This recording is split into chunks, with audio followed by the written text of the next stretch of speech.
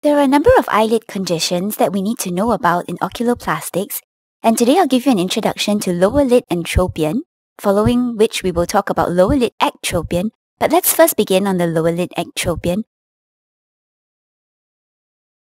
So what is lower lid entropion? It's the inturning of the lash margin and the eyelashes as seen in this photograph over here.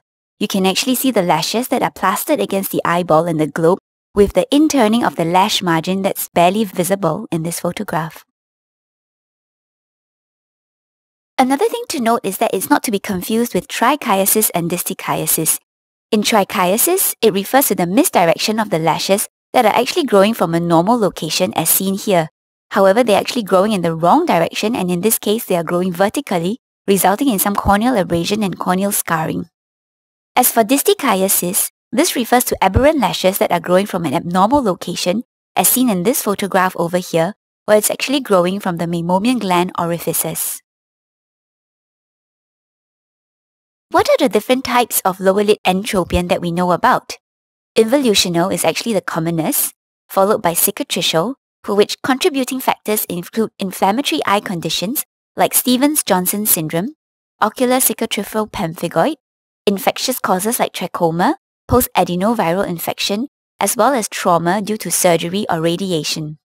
We also have spastic lower lid entropion, and this can be classified together with the essential blepharospasm or hemifacial spasm category. So what is the pathophysiology of involutional entropion of the lower lid?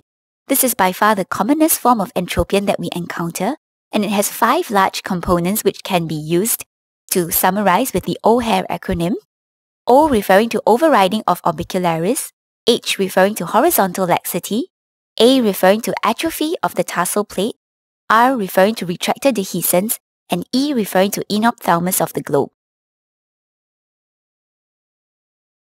The history taking for this particular condition is similar for both entropion as well as ectropion, and presenting symptoms include things like tearing, red eyes, foreign body sensation, eye pain, as well as eye discomfort.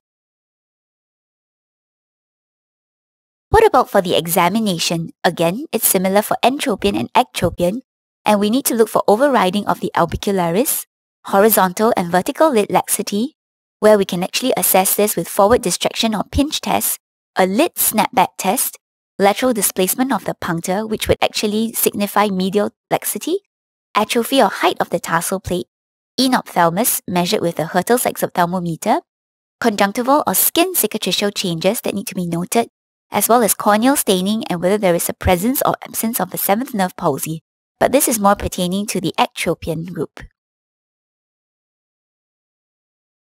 So how do we perform a forward distraction or pinch test, or also called the snapback test? First of all, a small portion of the skin just below the lash margin is actually pulled forward, and this is how we perform a forward pull, which is also called the forward distraction test. It can also be called a pinch test because we are literally pinching the skin and pulling it back for forwards. And if you see here, this is the anterior view, and here in the lower slide is the side view. And when you release this, that's when you call it a snapback test. Because if there is good laxity, and or rather I should say minimal laxity of the lower lid, this lid should actually jump back and reoppose the globe again naturally. However, if there is laxity present, this lid margin will slowly return to its original position, and that would represent that there is a positive weak snapback test. What about a lateral distraction test? This is actually more to assess medial canthal tendon laxity. So as demonstrated in this picture here, you can see that there is punctal ectropion and medial laxity. By pulling the skin laterally, we call this the lateral distraction test and you can actually see that there is displacement of the punctum from the original position. Normally, when there is absence of medial laxity, the punctum does not distract beyond the limbus. But once you see that the punctum goes beyond the limbus, as demonstrated here by the vertical line drawn through the medial limbus, you can actually see that there is presence of medial canthal tendon laxity. So how do we manage entropion? First, we have the non-surgical options, which includes the use of lubricants, taping, as well as everting sutures. We also have the option of performing epilation or electrolysis of the lashes, and you can also perform cryotherapy as well. However, this is more for the cicatricial entropion with distichiatic or trichiatic lashes, because as you know, these lashes will actually grow back, and there is a recurrence rate for electrolysis or cryotherapy that's performed. If there is spastic entropion, for example, in hemifacial spasm or essential blepharospasm, you can also make use of Botox. For everting sutures, what we demonstrate with in this photo here is the presence of the sutures going through the deep part of the fornix and passing through the entire thickness of the lower lid retractors and conjunctiva to come out in the subciliary position. Usually a double arm suture will be helpful to minimize any risk of globe damage.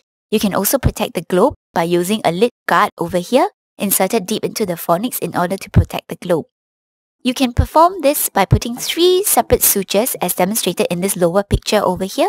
And when you have these three sutures, you can use 6-0 Vicryl, which are absorbable sutures which will eventually dissolve and will also fall off to allow you to have the everting effect. To enhance this effect, you can also perform small stab incisions here to allow for some scarring and adhesion to form in the subciliary region, which may serve to enhance and prolong the effects of the everting sutures. What about for surgical management of entropion? We'll talk more about involutional entropion here because these tend to be more common Generally, in our center, we like to use the lower lid retractor repair to address the vertical laxity and also combine this with a wedge resection or lateral tarsal strip to address the horizontal laxity. For cicatricial entropion, we can also perform anterior lamellar repositioning with or without lid split at the gray line and wedge resection. And there can also be the role for posterior lamellar lengthening procedures with auricular cartilage or buccal mucosa. However, we'll talk more about this at a later stage. For the lower lid retractor repair, when we see the presence of retractor dehiscence, we can actually open the septum as shown here after we have performed the subciliary incision to expose the pre-septal fat, or rather I should say the post-septal fat and the pre-retractor fat, which will be bulging out like that. This actually helps us to open this up to identify the lower lid retractors. The fat has been pulled downwards by the Desmarres retractor, and you can see the clean sheet of the levator, or rather I should say the um, retractor on the lower lid, which is a reflection of the levator in the upper lid. This is then sutured onto the tarsal plate as overseas seen over here with three of the 6-0 Vicryl sutures in this lower picture over here. And this is then closed up with the skin direct apposition. What about the lateral tarsal strip procedure to address the horizontal laxity? First of all, we perform a lateral canthotomy and inferior cantholysis to free up and create the lateral tarsal strip. And over here, in the next picture here, we actually remove the anterior lamella, which is the lash-bearing skin.